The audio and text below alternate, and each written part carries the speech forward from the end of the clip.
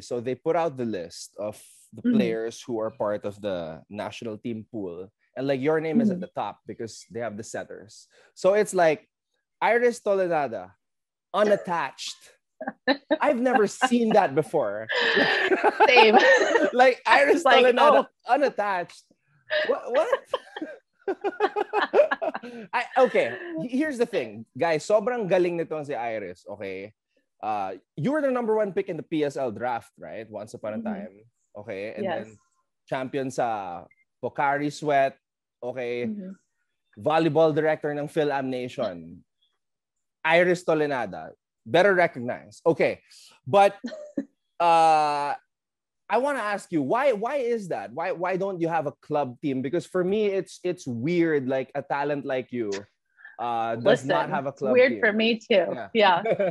um, so I was with Motolite, um, Yeah. and then obviously the pandemic hit, so it, it's it took a toll on our team, and unfortunately we disbanded at you know with terrible timing, unfortunately. So um, you know by the time I had started reaching out to teams, they were already full. They have you know however many setters, and you know I get it. You can only have a certain amount of setters on a team. Like if I were a different position, like a outside or something, like different story. But it's hard to uh, uh, fill your roster space with so many setters. So I understand. Uh, long story short, that's why I'm not on a team. Well, you know, I think everything happens for a reason though, because look, Yeah.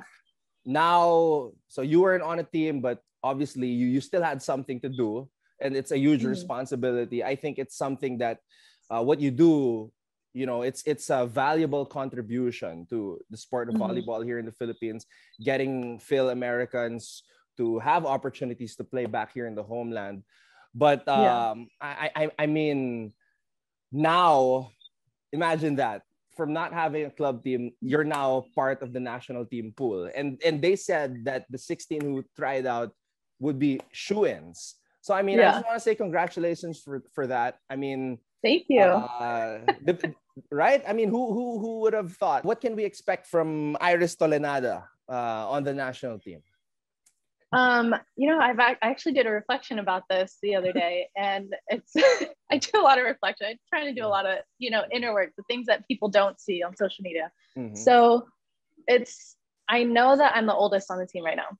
I know that I have a lot of experience playing volleyball. I know that I bring a different part of volleyball because I was a coach for a long time. I was a collegiate volleyball coach. I Mhm. also coached, um, you know, some of the top uh, high school club teams in the states. So, with all the knowledge I've gained from my amazing mentors, my amazing coaches, like I want to bring all of that plus my experience plus the leadership. Like I I know I've been trained to be a good leader, and that's exactly what I want to bring to this team.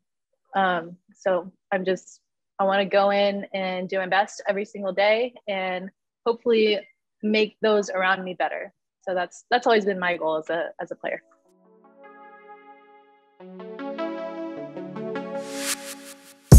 Thank you for watching Volleyball DNA. Make sure you hit the subscribe button to get notified for future episodes and interview highlights.